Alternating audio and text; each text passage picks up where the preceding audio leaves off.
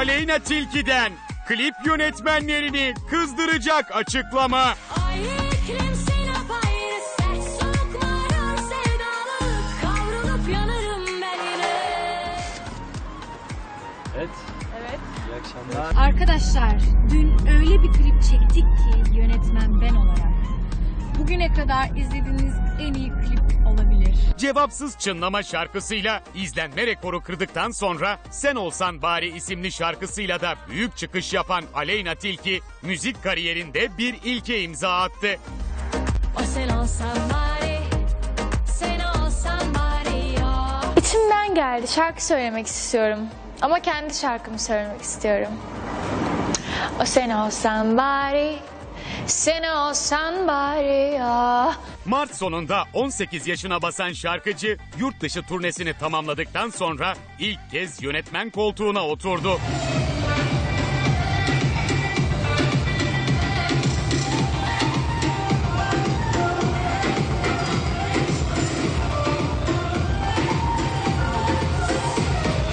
Aleyna Tilki, Yıldız Tilbe'nin Yıldızlı Şarkıları albümünde seslendirdiği Yalnız Çiçek şarkısına klip çekti. Ay iklimsin ne çare Ben sana vurgun bir çare Sarardım soldum hasretinle Genç Yıldız, geçen ay aranjörü Emrah Karaduman'la görüntülenmiş ve beraber yeni şarkısının müjdesini vermişti.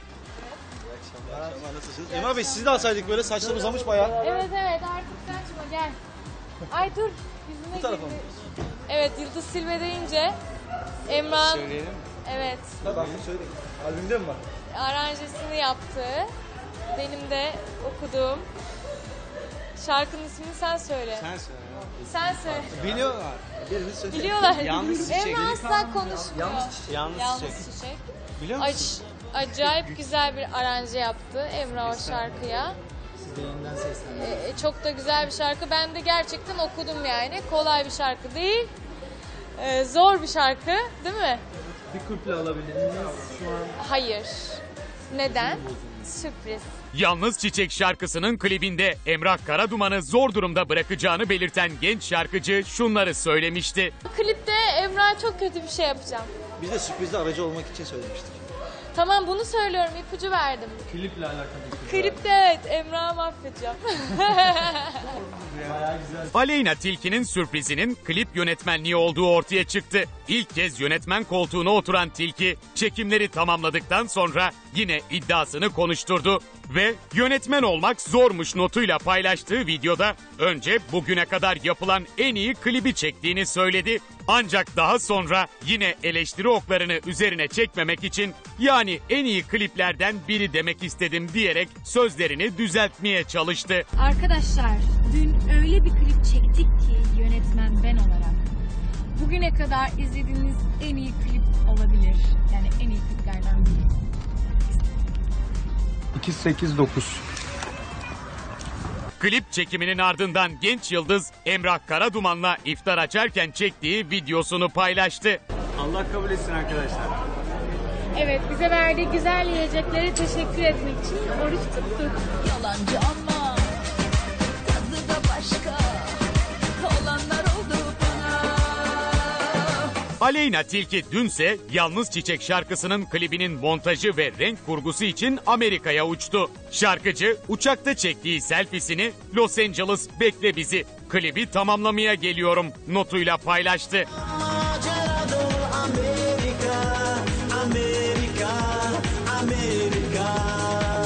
Öte yandan dudağına dolgu yaptırdığı iddia edilen Aleyna Tilki'nin geçen hafta bir estetik merkezine gittiği ve gizlice estetik operasyon yaptırdığı öne sürüldü.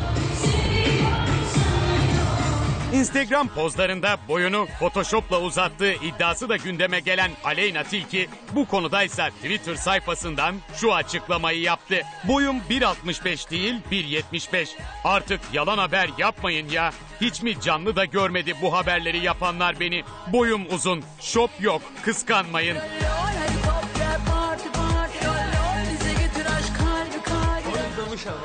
ha evet boyum biraz uzadı. Bayağı kaç santim? Şu an hepinizden uzunum herhalde. Evet. Suyla ama. Ay iklimsin ne çare Ben sana vurgun bir çare Sarardım soldum Evet klibini çekmiş Yalnız Çiçek şarkısının klibini çekti. Onun e, renklendirmesi ve son e, montajları için tekrar Amerika'ya uçtu. Bu E, Aleyna bu klipte neler yapmış hemen sana söyleyeyim. Söyle Bayağı bakayım. ekipten geldi. İllallah dedirtmiş insanları. Oruçluymuş herkes. Oruçlarını açtırtmamış. Saat 9'a kadar millet kapıda beklemiş. Pembe makyaj istiyorum demiş. Pembe e, ürünler alınmış. O pembe ürünler gelmiş. Vazgeçtim demiş. Saçımı kesin demiş. Saçını kesilmiş. Beğenmedim uzatın demiş. O kadar. Ben de niye anlatamıyorum bu insanlara? Bu insanlar anlamıyorlar. Anlama bilmem ne falan. Millete oradaki bütün ekibe Yapma ya. Ondan sonra Kapris kaprise. neler yapmış sana anlatamam. İnsanlar da oradan çıkarken demişler ki bir daha bu üzerine trilyon versek biz bununla bir daha çalışmayız demişler. O kadar milleti delirtmiş. E, Ve yönetmen üç kişi, üç yönetmen ayrı... koltuğunda oturuyor. Ne? Yönetmen- Yani, ne ya? yönetmen koltuğunda o da oturabilirsin. Yönetmenler böyle mi davranıyor yani Evet. insanlara? Yani birazcık da artık biraz Senin sette neler oldu peki? Sen yapmadın mı böyle şeyler? Ben kapris yapmam. Ben bilgim olan bir şeyi ki dün Ne diyorsunuz arkadaşlar? Bak Ben- kamera- Şu an reji yıkılıyor biliyor musun? Hülya Avşar bile, kameralar. Hülya Avşar'a bağlar mısınız? Hülya Avşar neydi bana biliyor musun? Işığın güzel değil dedim Hülya'ya. Neydi biliyor musun? Senin ışığının aynısından yaptırdım dedi. Ben bu işi anlıyorum bir kere. Bu net. Bazı insan anlamaz. Evet. Anlamadan bunu yaptığın zaman kapris olur bak. Evet, ışık çıkarması Anladın mı? O bir gerçek. seni anlıyorum, anlıyorum ama yani bu bir gerçek anladım. Evet, Şimdi buradaki insanlara e, bilerek kötü davranmak. Yani bunu yaptı. Yani insanlar oruçluyken yemek yemelerine müsaade etmemek falan filan böyle yani. O yüzden de bir de bazı insan işini gerçekten güzel yapamaz. Ve birisi de ikaz ettiği zaman sanatçıya kaprisi demek onun en kolay yoludur. Çünkü kendi eksikliğini öyle gidermek ister. Hmm. Ay, ay, o da ben iki ayrı. yıldır bunları dinliyorum. İki yıldır değil, on yıldır da dinlersin. Yani. Peki, e, bakalım. Herkes işini iyi yaptığı zaman zaten Dergi- ama buna ise doğru bir şey değil. Kız birisini a**mış falan yani. He. Ay ekipte. O kadar yani. yani. Peki. E, Aleyna gereksiz kaprisleri bir kenara bırak lütfen. Peki. Ee, Emrah götürmüş içeriye falan bunu başta He. fazla bağırıp çağırınca ortalıkta konuşunca. Yani bunlar olmuş. Hatta ispatlayabiliriz de dediklerine göre demek ki görüntüler de var yani. Evet. Alalım o zaman. Yaren yani hemen düş klibin peşine. düş klibin peşine. Peki e, bir dergiye de kapak olmuştu değil mi e, Aleyna? Onlar var mı arkadaşlar? O işte bu da dergiye kapak olmuş. Bunları e, paylaştı.